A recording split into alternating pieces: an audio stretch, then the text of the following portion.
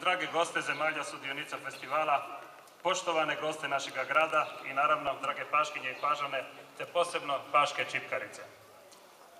Dolazeći u naš grad, mogli ste i sami osjetiti da dolazite u grad Čipke, grad sira i soli, grad folklora, grad karnevala, grad surovog kamena, koji u sebi skriva neprocjenjivo blago.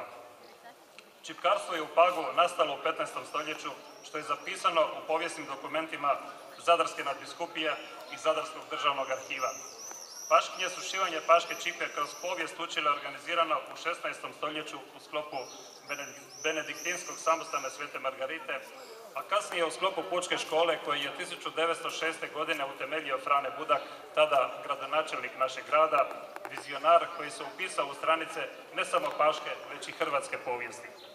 Danas se učenje šivanja paške čipke provodi za one najmlađe u osnovnoj školi Jurija Dalmatinca, zatim u čipkarskoj školi pri srednjoj školi Bartola Kašića i udruzi paških čipkarica Frane Budak, kako bi se nastavila tradicija šivanja ovog neprocijenjivog blaga.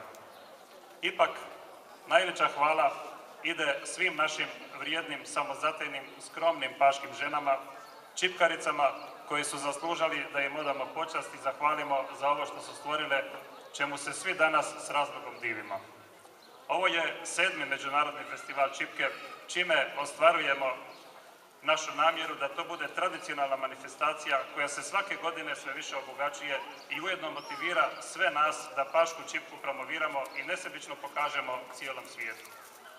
Ovim festivalom želimo pokazati svu ljepotu čipke široj javnosti, iako je ona kao najljepša rukotvorina ženskih ruku, česti poklon mnogim visokim dužnosnicima i vrlo često se koristi kao hrvatski suvenir i obilježje naše domovine.